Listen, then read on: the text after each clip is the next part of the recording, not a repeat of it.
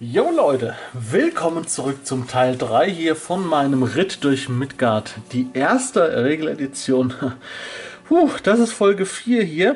Ähm, ich habe heute, wirklich heute Morgen, heute Vormittag, ähm, gedacht, ja, das, das drehe ich ab in, in so einer ähm, Sitzung, äh, beziehungsweise so in einem gewissen Zeitraum. Aber das ist dann doch ganz schön nervenaufreibend, wenn man so anderthalb Stunden durch redet ähm, und dann noch am Computer alles einrichten muss, für hochladen und alles. Ähm, ja, ich weiß nicht, ob wir heute alle Folgen schaffen. Also äh, an dem Tag, an dem äh, die ersten drei gekommen sind. Das hier ist die vierte Folge. Ja, heute geht es um Erfahrung. Ähm, es kann sein, mal, schlagen wir mal auf, dieses wunderbare Buch ne, von 1981, nur neu für die äh, neu, bessere Lesbarkeit neu gesetzt. Wunderbar. Ähm, kann sein, dass ein paar Folgen noch am Sonntag kommen, weil wir sind jetzt ungefähr bei der Hälfte, würde ich sagen, ein bisschen über die Hälfte und ich habe schon drei Folgen gebraucht. Ich gehe davon aus, dass wir bei sechs Folgen rauskommen werden. Ich weiß, es ist ein riesen Block, aber ja, wie gesagt, ich beschäftige mich jetzt gerade mit euch zum ersten Mal mit dem ganzen Komplex Midgard 1. Erfahrungsgewinn. Also bei Midgard 1 ging es schon los mit diesem Dreiklang. Achso, an dieser Stelle. Wir sind jetzt mitten in der ganzen Session. Falls ihr euch wirklich die ersten drei Videos angesehen habt und auch Bock habt auf das vierte Video, dann lasst mir doch an der Stelle bitte ein Abo da für meinen Kanal und für mein ja, für mein Engagement für Midgard natürlich ähm, und für Pen and Paper Rollenspiele im Allgemeinen. Ähm, denn das ist ganz wichtig, dann erfahrt ihr immer, wann ein neues Video herauskommt. Ja, Erfahrung. Ach, ihr merkt schon, ich bin schon in, ich bin ein Stück runtergekommen jetzt. Äh, der Kaffee hat sich gesetzt. Ich trinke mal einen Schluck Wasser. Mmh. Ach, das zischt. So, Erfahrungspunkte, genau. Da ging es los mit KEP, ZEP, AEP. Kampferfahrung, Zaubererfahrung und allgemeine Erfahrungspunkte. Okay. Ähm, das ist ja auch bei Midgard 4 noch drin gewesen, bei Midgard 5 haben sie es rausgeschmissen. Hat, hat äh, wenn man es mal stramm nachrechnet, nur 30 Jahre gedauert. Aber wir haben es bei Midgard 4, also jedenfalls ich in meinen Runden so, haben wir das nicht mehr so durchexerziert, ähm, das genau zu trennen. Ja. Habe ich in der letzten Folge ja erklärt, warum nicht. Okay, was haben wir hier? Ähm, das hier sind jetzt. Aha. Aha. Erfolgsbonus des Gegner. Und da sind, das sind dann schon äh, äh, äh, Rechenbeispiele, wie man die Kampferfahrungspunkte macht. Noch hier. Ah, das sind weiter, weiterhin für den Spielleiter, wie man Kampf, wie man die Erfahrungspunkte verteilt. Ja, das interessiert mich jetzt nicht so. Ist, ist auch wirklich, ehrlich gesagt, äh, kein. Was ist das denn? Ja, das ist schon wieder interessant. Ähm, Erfahrungspunkte durch Zaubern, Standard-Heilzauber, das muss man sich mal geben. Ne? Alles, alles hat eine gewisse äh, Ordnung, wie man da die Erfahrungspunkte verteilt. Daran sieht man, dass das hier, also jetzt muss man mal gucken, Standard, äh, Heilzauber, Schadenszauber, Kampfkreaturen, Kampfunfähigkeitszauber, Rettungszauber, Kontrollzauber, programmierte Zauber, Erscheinungen, Macht über Sinne, Todeshauch, heiliges, äh, heiliges Wort und so weiter. Was das für Erfahrungspunkte gibt, alles unterschiedlich geregelt. Ähm, das wurde zum Beispiel auch natürlich ähm, irgendwann in der Geschichte komplett über den Haufen geschmissen und in einer gewissen Formel dann wiedergegeben. Viel vereinfachter. Ähm, es gibt also bei Midgard 4 noch gibt es, oder bei Midgard 5 müsste es eigentlich auch noch geben, ich bin mir nicht sicher. Ähm, da gibt es für, für alle normalen Zauber, was weiß ich, doppelte Erfahrungspunkte oder was ich habe, ich, ich, erfinde jetzt irgendwas, weil ich schreibe die äh, Zaubererfahrungspunkte nicht auf. Aber äh, das machen die Zauberer selbst bei mir. Das ist mir, äh, da habe ich kein Interesse dran, das aufzuschreiben. Ähm, also bei, bei, mir als Spielleiter, weil die, die das aufschreiben, das sind erfahrene Spielleiter, die wissen, wie das geht und äh, ich äh, schreibe die, die nicht auf. Okay. Ja, da gibt es dann drei Stufen, die aber ganz klar zu unterscheiden sind. Schadenszauber, Heilzauber und irgendwie alle anderen, so nach dem Motto. Und das ist auch relativ einfach gelöst. So, was haben wir jetzt hier? Tabellen, welche Zauber zu was gehören. Sehr kompliziert. Okay. Erfahrungspunkte durch aktives Spiel. Äh, Erfahrungspunkte durch Spielleiterentscheidung. Okay. Ja, das halte ich für sehr wichtig, äh, dass man sagt, ja, wenn Spieler sich sehr, sehr einbringen, äh, motiviert sind, dass die dann auch extra Erfahrungspunkte kriegen. Das soll auch die anderen Spieler motivieren, dass man sagt, es macht Sinn, sich am Spiel zu beteiligen. Es macht Sinn, aktiv zu sein. Ja, es soll auch Sinn machen, ähm, äh, ja, wenn man einfach äh, das Spiel ernst nimmt und kreativ ist. Ja, das sollte ich vielleicht in meiner Gruppe auch nochmal so ein bisschen intensivieren. Ich schreibe mir für gute Idee auf jeden Fall immer Erfahrungspunkte auf, aber ich habe es bis jetzt noch nicht so kommuniziert. Werde ich mal vielleicht ab jetzt mal äh, machen, ja, dass ich das dann auch kommuniziere. Damit die anderen Spieler, es gibt so, es gibt so zwei Spieler, die sich sehr zurückhalten mit Ideen. Ähm, einer, ja, einer, einer ganz extrem und vielleicht kann man den ein bisschen aus der Reserve locken. So, das Erreichen höhere Grade. Jetzt, die Katzen haben gerade gefressen und jetzt meinen sie, sie müssten hier einen Affentanz vollziehen. Ich habe extra gedacht, wenn sie gefressen haben, dann ähm, machen sie erstmal ein Schläfchen. Aber nein. Ne, ihr Katzen? Ja. wenn ihr die sehen könntet, Leute. Okay. Erreichen höherer Erfahrungsgrade. Grad 1. Grad 2 gibt es bei 2000. Das ist schon viel, ne? Aber gut. Ich weiß ja nicht, äh, wie viel äh, jetzt wieder die Gewichtung ist von Erfahrungspunkten her und so. Ja. Was ist das jetzt hier? Und das ist auch, auch das gleiche drin wie heute noch. Man kann Ausdauer erhöhen, man kann Basiseigenschaften unter Umständen erhöhen ähm, Erwerb von Fähigkeiten, das ist alles recht ähnlich. Hier wurde es noch anders geregelt. Hier gab es jetzt noch, sehen wir bei der Waffenfertigkeiten, äh, jede hat so seine eigene Schwierigkeit. Also da wurde jetzt nicht gesagt leicht, mittel, schwer, sondern hier wurde gesagt äh, 6, 5, also äh, Punktwerte. Alles einzeln eingruppiert. Ist natürlich komplizierter dann. Und hier, ah, das hat eine Schwierigkeitsstufe und dann was, was das kostet an Erfahrungspunkte. Ja, das sind die Werte auch viel höher. Ne? Sind die viel höher. Als, äh, das hat sich später dann mit der Zeit äh, ein bisschen angeglichen.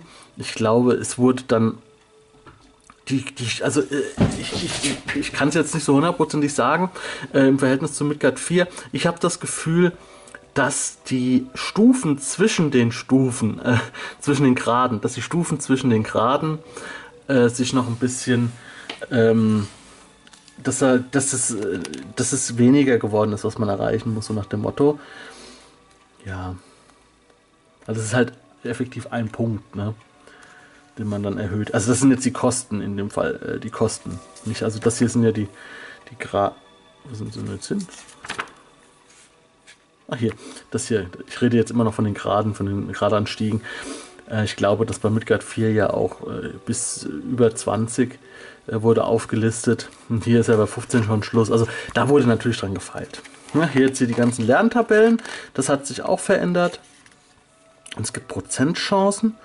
Ist das, äh, ob man da, kann man da scheitern? Äh, wo sind denn die Prozent? Ja, müsste ich jetzt lesen. Aber könnt ihr mir in die Kommentare schreiben, wenn ihr es wisst. Finden eines Lehrers. Prozentchancen. Ach so, könnte das das sein? Hä? Wie hoch die Chance ist, dass da einer ist, das finde ich ja witzig. Das finde ich allerdings gut. Na, das könnte man auch mal, ähm, das könnte man auch mal, da muss man als Spielleiter dann nicht so viel äh, einberechnen. Aber da muss man dann halt, also als Spielleiter muss ich mir nicht vorher Gedanken machen, was kann man lernen, was nicht, sondern man macht es mit Prozentchance.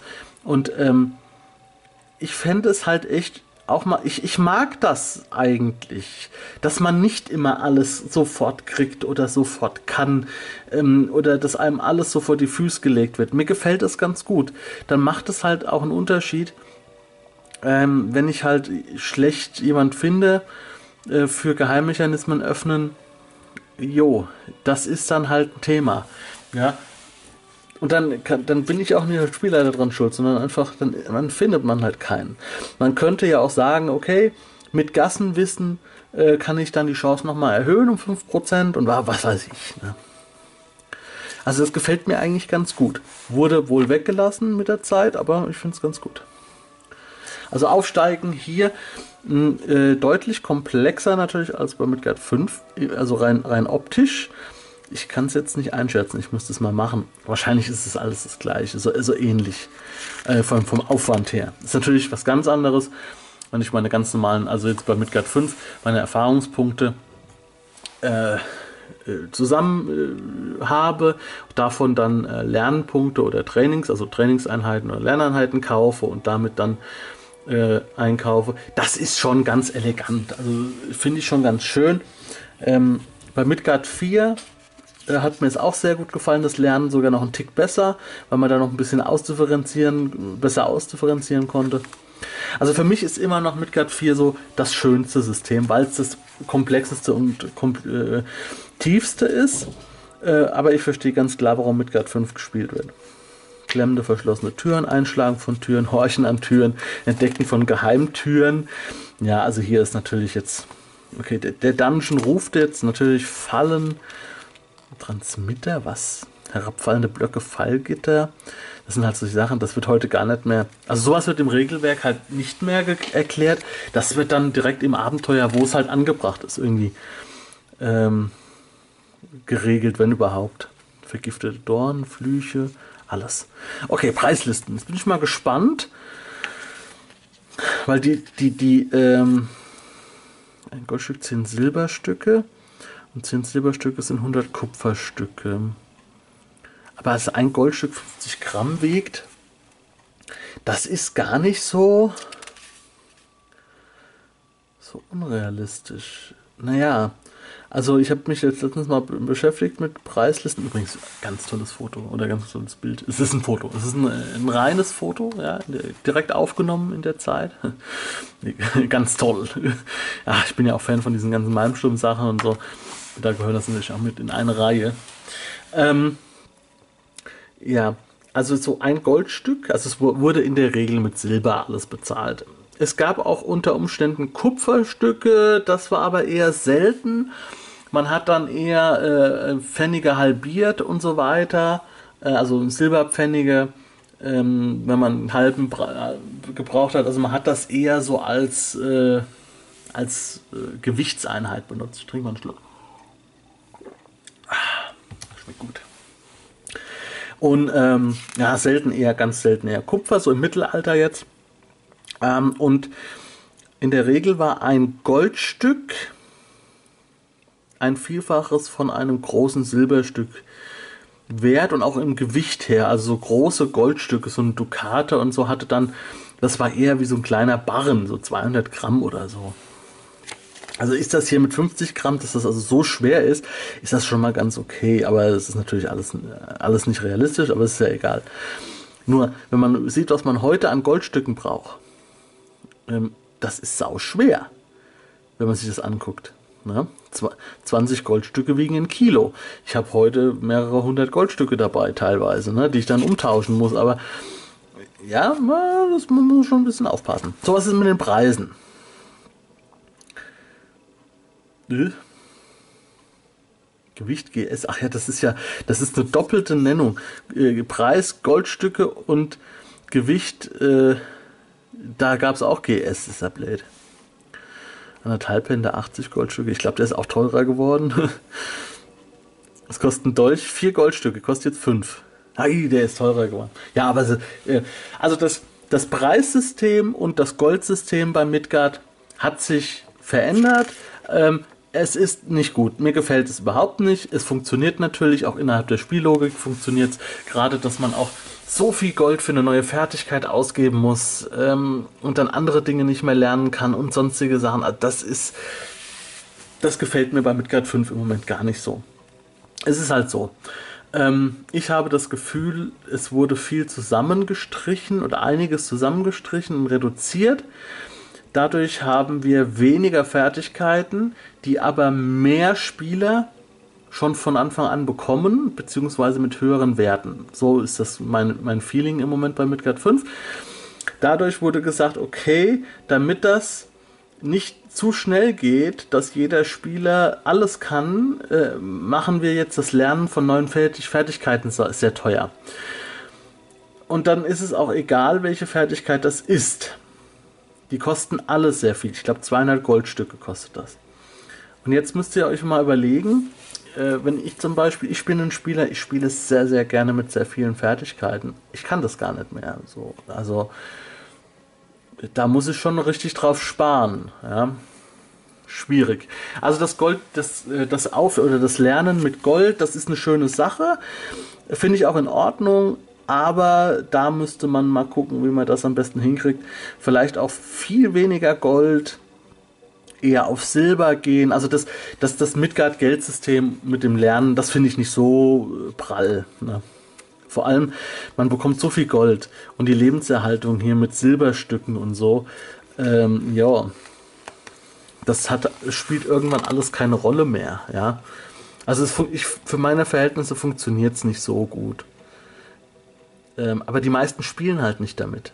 Ja, generell nicht. Also keine Ahnung. Also ich, ich glaube auch nicht, dass bei anderen Rollenspielen jetzt so extrem genau mit dem Geld gespielt wird. Also wir haben es ja ein bisschen, man macht es ein bisschen so nebenbei, aber es ist halt trotzdem, man kauft auch immer wieder das gleiche Zeug. Ja? Ist ja klar. Ne? Ich kaufe natürlich, äh, irgendwann habe ich immer ein Seil dabei, irgendwann habe ich immer Fackeln und eine Laterne dabei. Ne? Irgendwann habe ich auch äh, eine Lederhülle für Schriften und sowas dabei. Also man kauft ein bisschen was, das ist auch nicht wichtig. Das ist nicht wichtig. Wichtig ist nur, dass es alles schon dabei war 1981. Ja? Und es funktioniert ja auch. Ja, es funktioniert ja auch bis heute. Es funktioniert auch heute. Ja, nur äh, mir gefällt der Ansatz nicht so. Das ist ein Unterschied. So Kapitel 9, Spruchrollen. Ja, aber mit, das war auch schon da, dass man von Spruchrollen lernen kann. Oder wurde es, oder war das wahrscheinlich die einzige Möglichkeit, ne? Oder man kann, also man kann bei Midgard ja billiger lernen über Spruchrollen. Finde ich halt krass, dass es dabei ist, von Anfang an schon. Ja? Und dass man auch Verfassen von Spruchrollen machen kann. Also das ist auch ein Thema. So, das hier war jetzt der komplette Teil 1. Ähm, Leute, wir machen jetzt was. Ich mache jetzt hier ein Lesezeichen rein. Das Video endet jetzt noch nicht. Aber wir gehen dann frisch in den Teil 2. Ich möchte das gerne separieren, was ähm, im Teil 1 und was im Teil 2 äh, stattfindet. Und das kann ich jetzt gut, da habe ich jetzt noch, noch äh, genug Zeit. Jetzt können wir mal so überlegen, äh, was jetzt hier in diesen ersten 224 Seiten, also 110 Seiten DIN A4, so alles drin war. Und ich verstehe jetzt auch, ähm, warum ja, so viele Leute ähm, überhaupt angefangen haben, Midgard zu spielen. Ne? Es gab ja, es wurde ja so äh, berichtet, es gibt halt diesen äh, diesen, diesen Verein, ne, diesen, diesen fantastische Weltenverein, dieser Follow. Und die haben halt das gespielt und so weiter und haben dann gesagt, weißt du was, wir haben 100 Mitglieder, wir, wir drucken jetzt für jeden so ein Regelheft, ja, mit diesen 120 Seiten für ein paar Euro, drucken auch nochmal 50 mehr. Also es war ja so die, also die, Sa die Sage und die Legende ist ja so 150 Hefte wurden gedruckt die erste Auflage. Und äh, es sollten halt ein paar mehr Hefte sein, die kann man dann an Freunde und Verwandte und so weiter kaufen und denen dann geben, äh, damit die dann auch mitspielen können, was auch immer. So, das hat ja dann auch nicht geklappt. Wurde ja reißend abge abgenommen. Und man, man, man hat jetzt in diesen vier Folgen, die wir jetzt hinter uns haben, gesehen, warum. Wir haben, wir haben hier vier verschiedene Klassen. Okay, ähm, je nachdem, wie man sie ausrüstet, kann man sie in Richtung Waldläufer spielen oder in Richtung äh, Erkunder oder in Richtung Krieger oder in Richtung Ritter, weil wir halt Fertigkeiten haben. Das heißt, wir sind nicht auf unsere auf unsere Charakterfertigkeiten angewiesen. Also das heißt, ein Krieger hat nicht von vornherein immer äh, bessere Trefferchance und höheren Schaden und mehr auch nicht, und kann alle Rüstungen anziehen, sondern ähm, er kann viele Sachen, auch viele Fertigkeiten sehr günstig lernen, die in Richtung körperlich und äh, Krieger gehen, aber der kann auch eine Wissensfertigkeit lernen. Und dadurch haben wir eine hohe Variabilität innerhalb dieses Systems. Katze jetzt nicht, ja? Ich habe da so eine Pappe liegen, damit da, da kratzen sie ganz gern mal. Bin ich froh, da gehen sie nicht an die Möbel, ne? muss man sagen. Es sieht nicht so schön aus mit der Pappe, aber äh, wenn man Katzenbesitzer ist, dann freut man sich, wenn sie nicht an die Möbel gehen. Also das heißt, wir haben hier vier Spielfiguren, also Typen. Wir haben also den Krieger, den Glücksritter, nee, den Abenteurer, äh, den Priester und den Magier.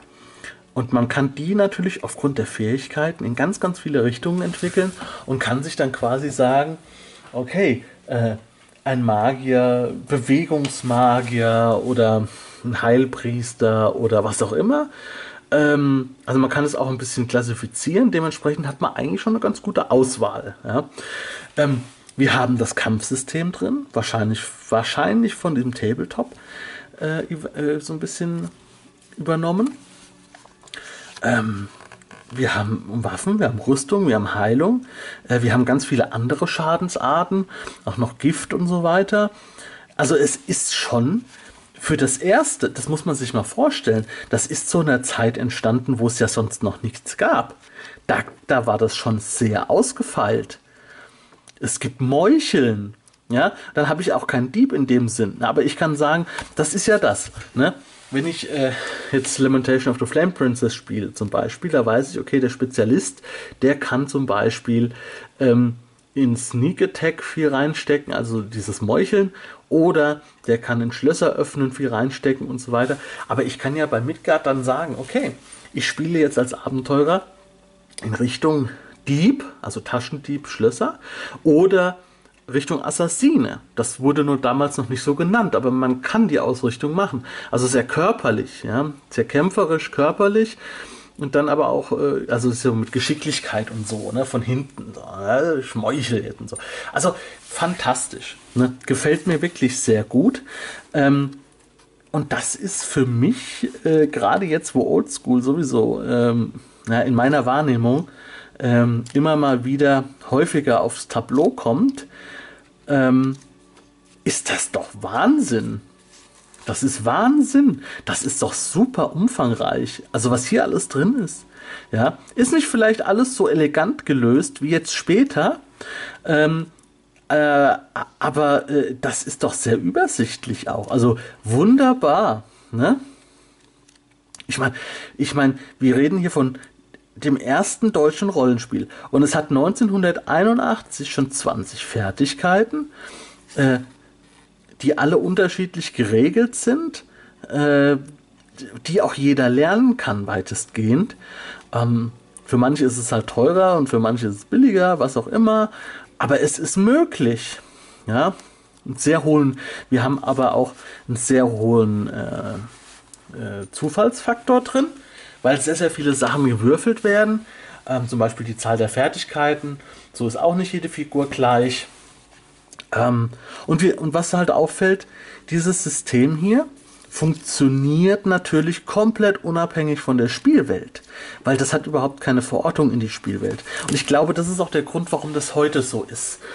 Ähm, bei DSA gab es ja dann relativ schnell einen Unterschied, ob ich, ähm, wo ich herkomme. Ähm, ob ich jetzt ein Tulamide bin oder ob ich ein ähm, Wehlinger, hätte ich ja schon fast gesagt, ein Torwaller bin oder so. Das hat dann Unterschiede und ähm, ob ich dann ein Torwaller von der Küste oder von, vom Inland bin, das macht nochmal einen Unterschied, was ich gelernt habe und solche Sachen. Und so, so, so fühlt sich jede Figur halt landesspezifisch ein bisschen anders an. Das haben wir bei Midgard jetzt schon an der ersten Edition nicht weil äh, es gab halt die Welt Magira, äh, in der gespielt wurde und die wurde, die war ja auch erst im Entstehen. Man hat natürlich irgendwelche Abenteuer gespielt und hat dann dort auch ähm, dann gesagt, ja, dafür brauchen wir einfach nur Abenteurer. Das ist jetzt erstmal egal, wo die herkommen und so. Äh, das war ja auch bei den ersten DSA-Editionen, die ich jetzt zum Beispiel kenne, nicht so. Dass man das unterschieden hätte. Na, da wurde ja auch zwischen Zwerg war ja auch eine Charakterklasse und kein, ähm, keine, äh, kein Volk. ja, das gibt's halt hier nicht, äh, was ich sehr gut finde. Auch, auch ein tolles Bild hier mit diesen Hörnerhelmen und so. Das ist halt totaler Schwachsinn, ne? aber es ist Fantasy-Schwachsinn, gefällt mir. das halt, macht halt gar keinen Sinn so. Ähm, wenn man es mit der Realität abgleicht. Nee, ansonsten bis jetzt Teil 1 grandios. Das Format gefällt mir gut.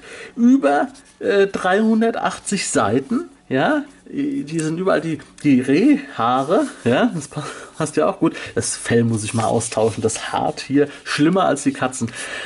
Wunderbar. Also, das ist für mich jetzt noch Ende 2021 ein Knaller. Also die Ankündigung, dass Midgard 6 jetzt äh, bei Pegasus erscheinen soll und so weiter, ähm, das war schon ein, ein, kleiner Hammer. Aber das hier, die erste, das erste deutsche Rollenspiel in so einer tollen Auflage hier, das ist, äh, das ist so zeitlos. Ja? Dieses Ding ist zeitlos. Ja, da kann man sagen, okay, das kann man auch in 20, in 50 Jahren noch nehmen und spielen, weil es auch vor 40 Jahren schon Leute genommen haben und gespielt haben. Heute kann man es auch noch nehmen und spielen, weil es halt ausgeklügelt ist. Ja, also fantastisch.